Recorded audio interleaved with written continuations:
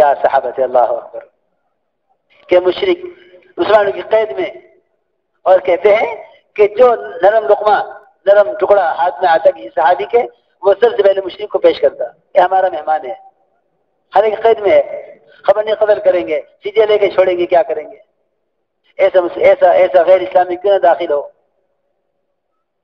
कि जिसके साथ अखलाक का यह मामला हो रहा हो। यहाँ तो सूरत हालिया बनी हुई है कि गैरों के साथ मामला गैरों का, अपनों के साथ मामला अपनों का इससे उम्मत कभी नहीं बनेगी। इससे उम्मत कभी नहीं बनेगी। इससे उम्मत कभी नहीं बनेगी। देखो तो सही।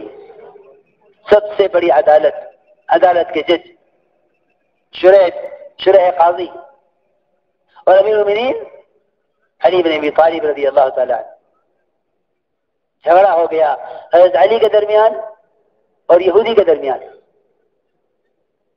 यहाँ तो जज भी अपना है, वकील भी अपना है। जहाँ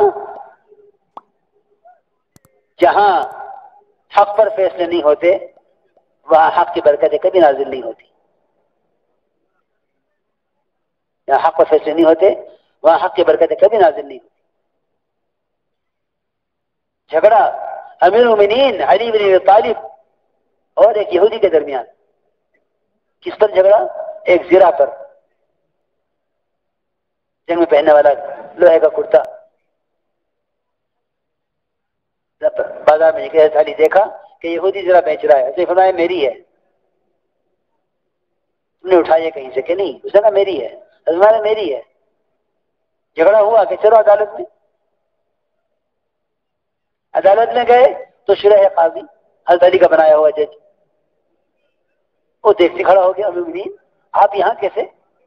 हुक्म फरमाइए। आप आपको तशीफ लाए। कि हाँ मेरा झगड़ा है इससे, यहूदी से। अब यहूदी बेचारा सोचेगा कि अमीन और इनका बनाया हुआ काजी। और काजी भी ऐसा जो हज़रत को देख खड़ा हो गया कुर्सी पर से। और हज़रत को बिठाया कुर्सी पर। नीचे खुद बैठे। जज नीचे बैठा हुआ और जिनसे झगड़ा है, उन्हें बिठाया हुआ कुर्सी पर। फरमाया मेरी क्या हुक्म है? क्या खिदमत है? भाई, देखो, मेरी जिरा है। ये यहूदी कब्जा किए हुए हैं, देता नहीं है। अमीन आग बात गवाह है। हाँ गवाह है। बुलाओ हसन को, वो गवाही देगा। अमीन दरखास्त है कि ये गवाही नहीं दे सकते, क्योंकि आपके बेटे हैं। बेटी गवाही बाप का मोतबर नहीं होती। ये गवाह नहीं होंगे। अच्छा उसे बुलाओ मेरे गुलाम को, कंबर को। वो देगा गवाही। कि हाँ मिनीन, एक गवाह और चाहिएगा, कि गुलाम की तरह ही गवाही काफ़ी नहीं है।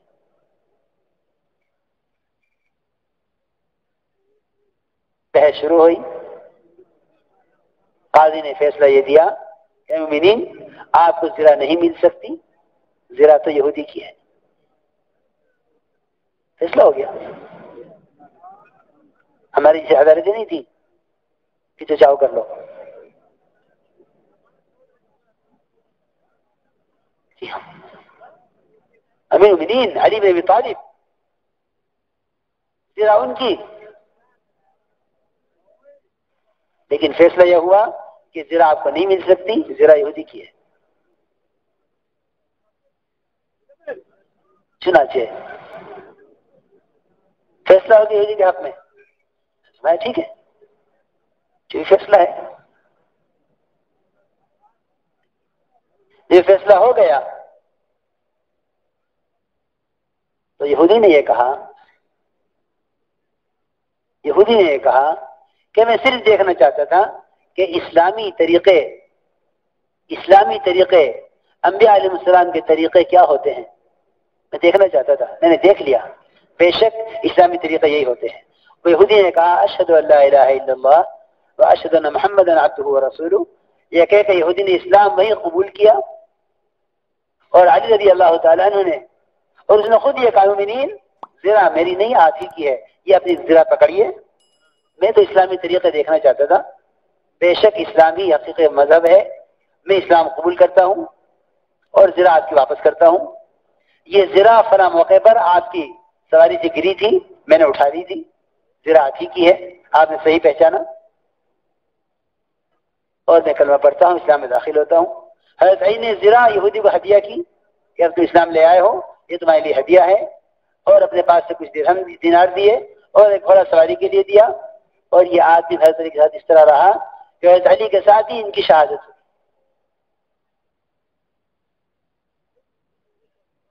मैं अर्ज़ करना चाहता था ये।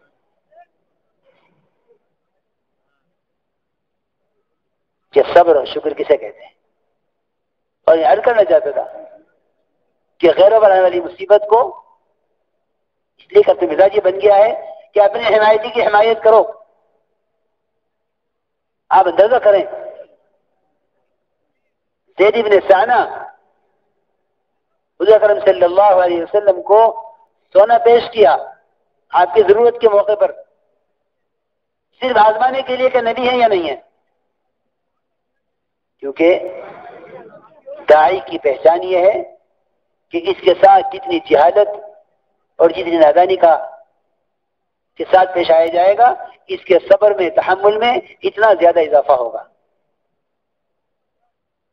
सुना इब्न साना, उन्होंने हजूर अकरम सल्लल्लाहु आकर बैठे।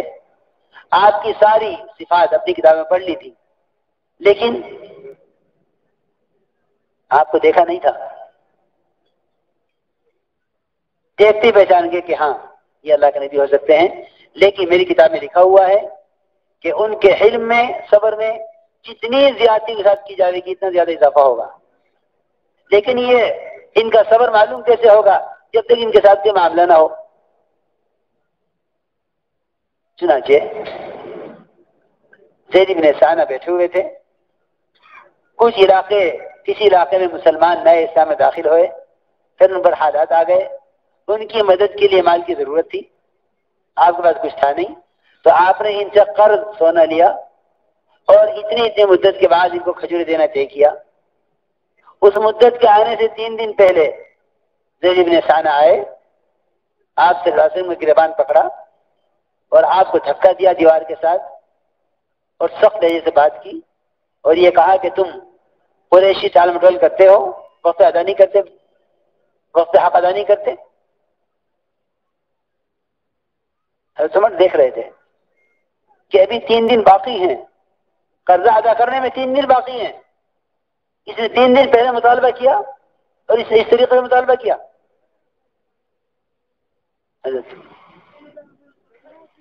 तलवार निकाल और ये कहा कि अल्लाह के नबी का इशारा कर दे तो मैं तेरी गर्दन उड़ा दूँ। तो अल्लाह के नबी के साथ ये कर रहा है। मैं उमर, ये तुमने क्या किया? इससे कहते कि तरीके से मुतालबा करे और मुझसे कहते कि मैं इसका हक अदा करूँ। ये तुमने क्या किया? देखो, मेरी बात याद रखना। फसाद तीन के शोबे हों या दुनिया के फसाद जब उठता है, भड़कता है, जब अपने हिमायत, अपना, अपनी हिमायत करने वालों की हिमायत की जाती है। इससे कभी उम्मत नहीं बनती, इससे कभी उम्मत नहीं बनती। उम्मत बनती है जब अपने हिमायती को दबाया जाता है और सताने वालों पर एहसान किया जाता है। इसे याद रखना, इस काम का मिजाज, इसका तकाजा सताने वालों पर एहसान करना है। मसीम एहसान करना को, कोई कमाल की बात नहीं है। इन्हें एहसान किया एहसान करते हैं। कोई कमाल की बात नहीं है। मसीम एहसान करना कोई कमाल की बात नहीं है। अजियत देने वालों पर एहसान करना यह है एहसान का कमाल। आप हमारे उमर ये तुमने क्या किया? इसको तलवार से धमकी दे दी? कि मुझसे कहते कि मैं इसका हक अदा करूँ। इससे कहते कि तरीके से मुतालबा करे। जाओ उमर इसको लेके जाओ। और इसको इसका हक दो और बीस सा खजूरें ज़्यादा दो इसको। अपने साथ जो कुछ हुआ उसको कोई ज़िक्र नहीं। ये मेरे साथ क्या किया? तुम्हारे ले गए जाकर इनको खजूरें दी और बीस लाख खजूरें ज़्यादा दी। अजैद ने कहा ये ज़्यादा कैसे? मेरा तो हक पूरा हो गया। ये बीस लाख खजूरें ज़्यादा क्यों दे रहे हो? भाई, बात यह है कि मैंने आपको तलवार से धमकी दी थी। अल्लाह के नबी आप ज़्यादा कर रहे थे। तो अल्लाह के नबी ने फरमाया, उमर तुमने क्योंकि तलवार की धमकी दी है इनको पता करने की। तुम्हें चाहिए कि बीस लाख ज़्यादा देकर इन्हें खुश कर दो। आप जरा गौर तो करें। कहा हम हैं, कहा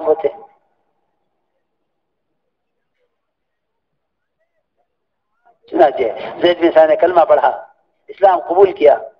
हज़रत ने फरमाया, जैद, तुम वही आलिम हो क्या? यहूदी आलिम? कि हाँ वही हूँ मैं। कि तुमने आलिम होते हुए अल्लाह के नबी के साथ ये हरकत की कि उमर बात यह है। मैं देखना चाहता था कि वाकई अल्लाह के नबी हैं या नहीं है। इतनी ज़्यादा की थी। देखो मेरे दोस्तों अजीजों, ये मिजाज बनाया इस्लाम से कि इनके इनके मिजाज में दूसरों के लिए नरमी हो, क्योंकि अल्लाह ताला ने आप सल्लल्लाहु अलैहि वसल्लम को इस काम के करने के लिए और साथियों को लेकर चलने के लिए चार कामों का हुक्म दिया है कि नबी जी, आप नरम होकर रहिए। और आप अपने साथियों से दरगुजर करते रहिए, अपने साथियों के लिए इस्तेफार करते रहिए, अपने साथियों से मशवरा लेते रहिए, राय लेते रहिए। साथियों को लेकर चलने के ये ये ये साथियों को लेकर चलने के ये उसूल बताए हैं कि चार काम आपको करने होंगे, कि नरम होकर रही है अगर आप सख्त दिल हो गए, आपको छोड़कर भाग जाएँगे। और आप इनसे दरगुजर कीजिए। आप इनके लिए इस्तफार कीजिए और आप इनसे मशवरा लीजिए, इनसे राय लीजिए। इज्तमाहीत के इसबाब बताए हैं।